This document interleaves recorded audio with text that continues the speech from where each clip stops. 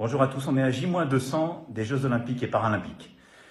Nous allons accueillir en France des Jeux Olympiques et Paralympiques les plus décarbonés de l'histoire, des Jeux verts qui respectent les accords de Paris.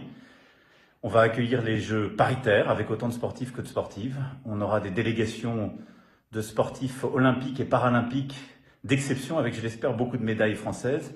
Et puis on accueillera des Jeux olympiques et paralympiques partout sur le territoire français, de Paris à Marseille en passant par Tahiti. Et je vous invite euh, tous à faire 30 minutes chaque jour au moins de sport.